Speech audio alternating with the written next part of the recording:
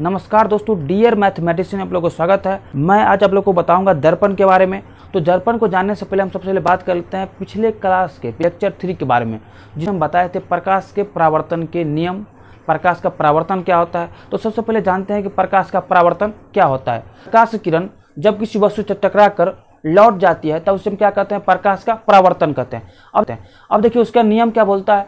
आपतन कोण जो है, परावर्तन कोण के बराबर होगा। आपतन कोण जो है, परावर्तन कोण के बराबर होगा।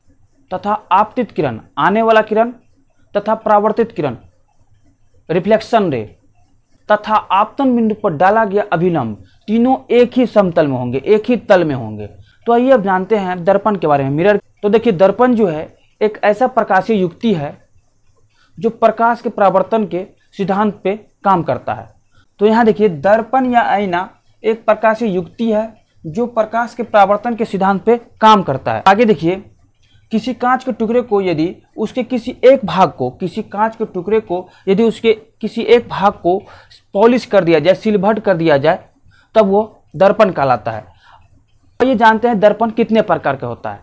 दर्पण जो है, मुख्यतः तीन प्रकार के होते हैं। समतल दर्पण, प्लेन मिरर गोलीय दर्पण, एस्फेरिकल मिरर और परावलीय दर्पण। तो यहाँ देखिए, परावलीय दर्पण कैसा होता है? तो देखिए क्लास टेंथ के प्रकाश के परावर्तन के चैप्टर में मुख्यतः दो प्रकार के दर्पण का यूज़ किया गया है। एक में एक में समतल दर्पण और दो नंबर में गोलीय दर्पण।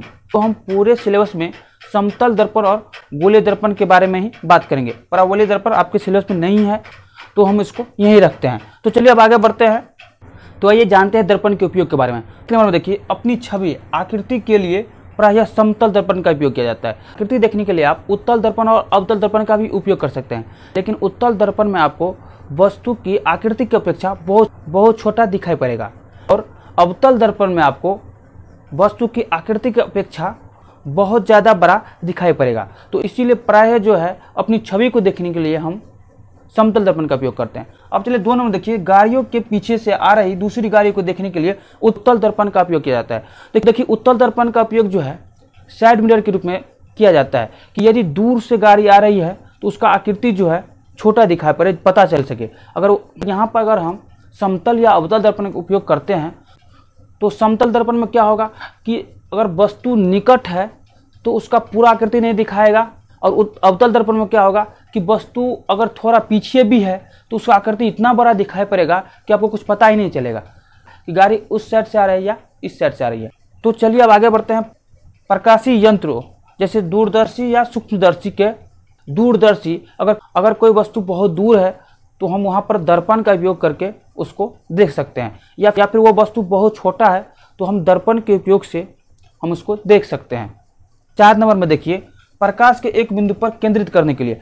अब देखिए, प्रकाश के एक बिंदु पर केंद्रित करने के लिए भी हम दर्पण का उपयोग करते हैं। के लिए इतना ही। नेक्स्ट क्लास में हम करेंगे समतल दर्पण के बारे में और उसके प्रतिबिंब के बारे में। तो इस वीडियो को जैसे जैसे शेयर कीजिए, जिससे और स्टूडेंट को पता चल सके।